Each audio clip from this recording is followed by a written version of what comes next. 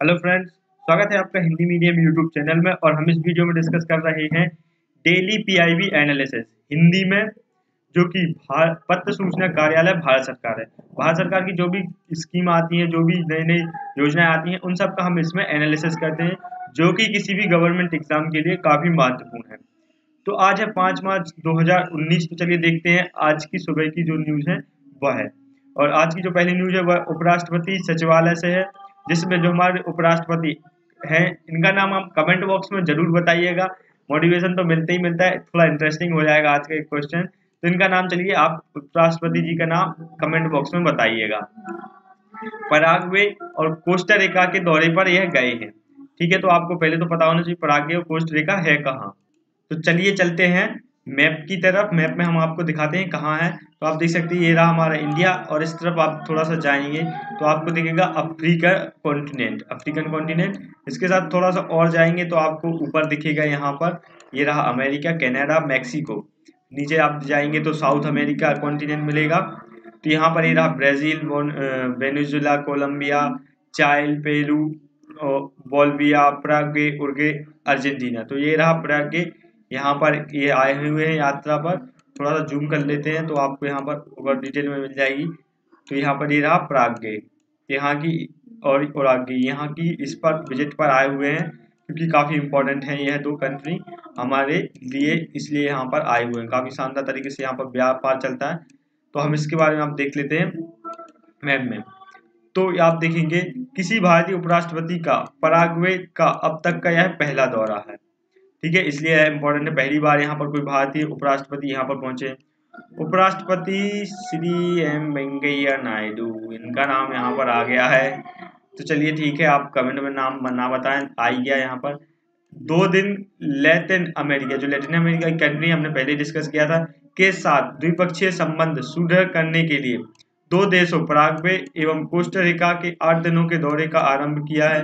भारत में पराग्वे दूतावास के डिप्टी हेड ऑफ़ मिशन मंत्री Shri Ruben Dario Benitez, Palamu Costa Rica CDA Shri Eduardo Salgado एवं अन्य गणमान्य व्यक्ति उनकी रवानगी के समय उपस्थित थे। तो यहाँ पर एक कंट्री और है कोस्टरिका अभी हमने प्राग उर्वे देखा।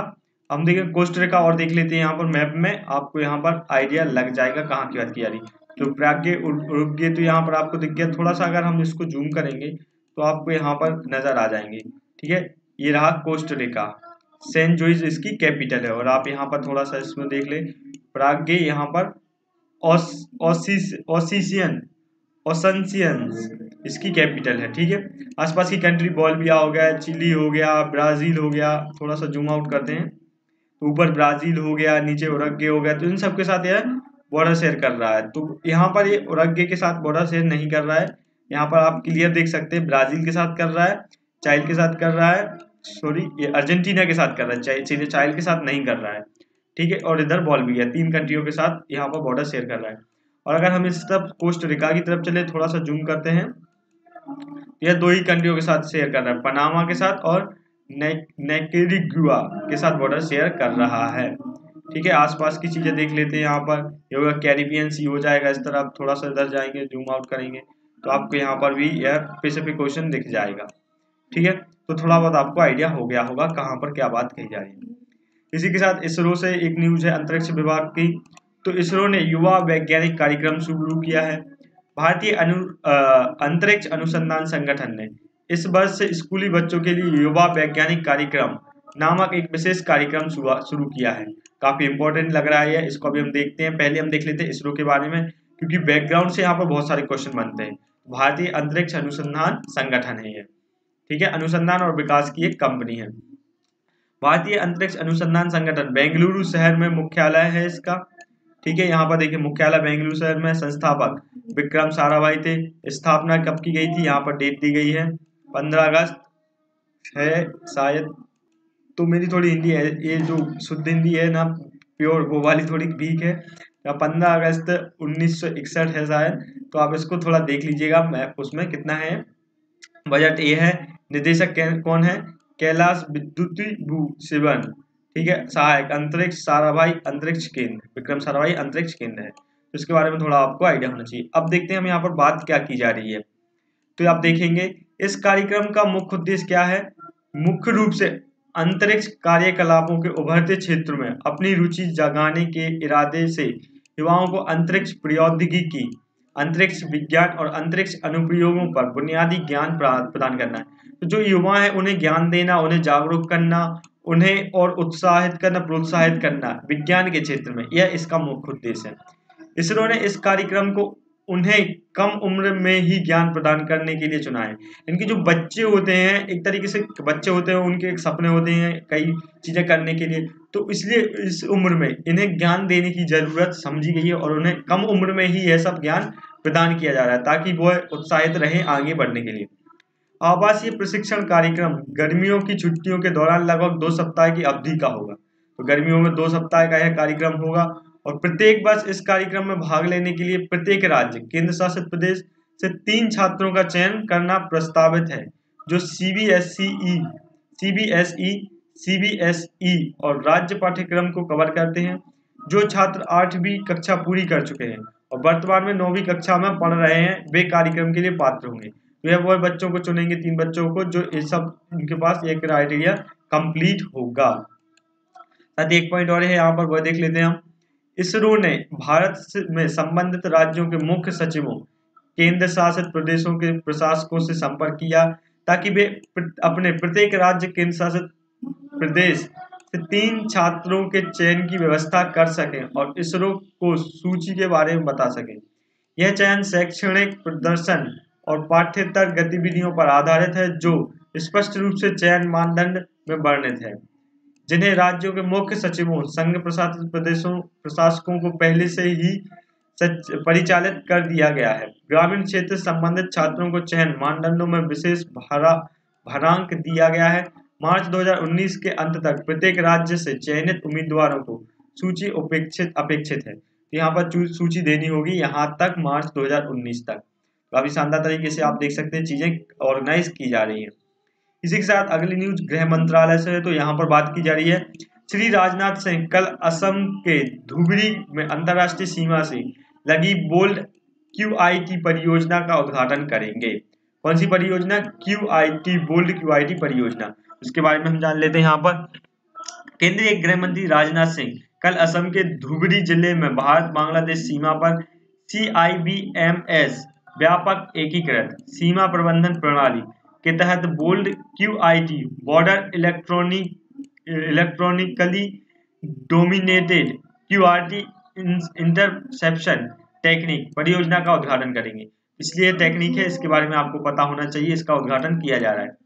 सुरक्षा सीमा सुरक्षा बल बांग्लादेश के चार हज़ार छियानवे लंबी अंतरराष्ट्रीय सीमा सुरक्षा की उत्तरदायी है। यानी कि इतनी लंबी जो सीमा है, इसका उत्तरदायित्व तो है।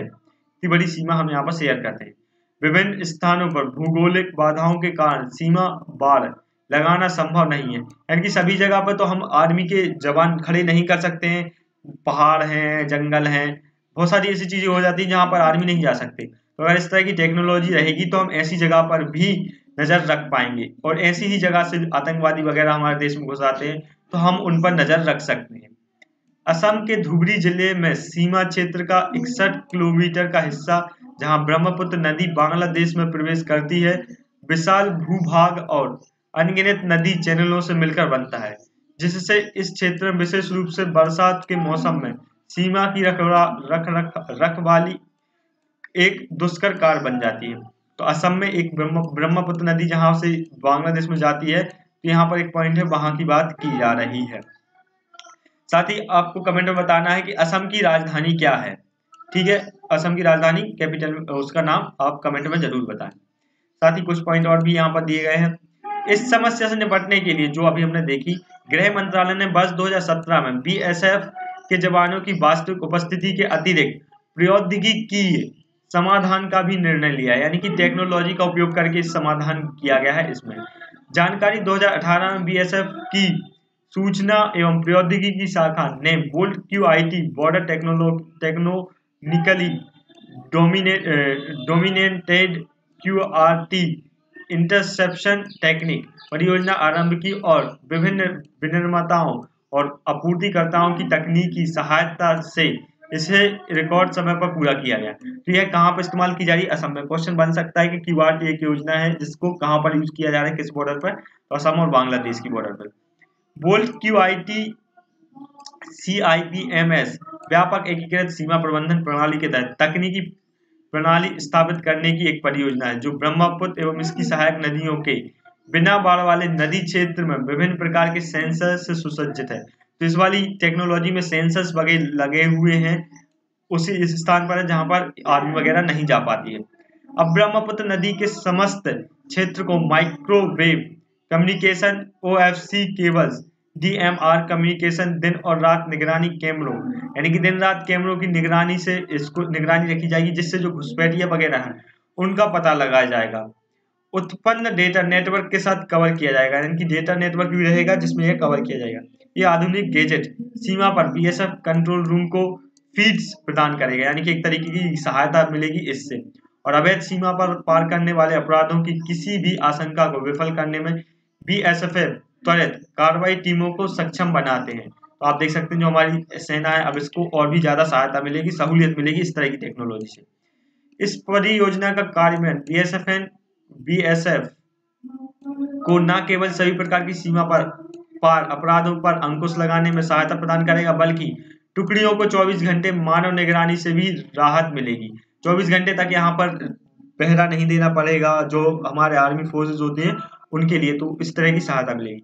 जैसे कि अभी हमने देखा पुलवामा आतंकवादी हमला हुआ था तो अगर क्वेश्चन बन सकता है कि हम अपने जवानों की सुरक्षा के लिए टेक्नोलॉजी का किस तरह से उपयोग कर सकते हैं? तो उसमें यह एक एग्ज़ाम्पल है। बोल्ड क्यू आर टी एक बहुत शानदार एग्ज़ाम्पल है इसके लिए। तो आप ये अपने ऐसे में लिख सकते हैं। इसमें पूर्व गृह मंत्री श्री राजनाथ सिंह ने पिछले वर्ष सितंबर महीने में जम्मू में भारत पाकिस्तान अंतर्राष्ट्रीय सीमा पर प्रत्येक पाँच किलोमीटर पर दो स्मार्ट वार्ड लगाने वाली पायलट परियोजना का उद्घाटन किया था। तो पायलट परियोजना ऑलरेडी यहाँ पर चल चुकी थी पहले ही। तो यह सब आपको थोड़े बहुत आइडिया होने चाहिए कि कहाँ पर कौन कौन सी योजना चली है। इसी के साथ यह था हमारा कंप्लीट डिस्कशन अगर वीडियो पसंद आया तो इसे लाइक ज़रूर करें और कमेंट ज़रूर करें और वीडियो को शेयर ज़रूर करें ज़्यादा से ज़्यादा। चैनल को सब्सक्राइब करके बेल आइकन भी प्रेस करें ताकि जब भी वीडियो अपलोड हो आपको इसका नोटिफिकेशन मिले और आपका कोई भी लेक्चर वगैरह मिस ना हो। तो आज के इस लेक्चर बस इतना ही। मिलते अगले लेक्चर में। धन्यवाद। जय हिंद।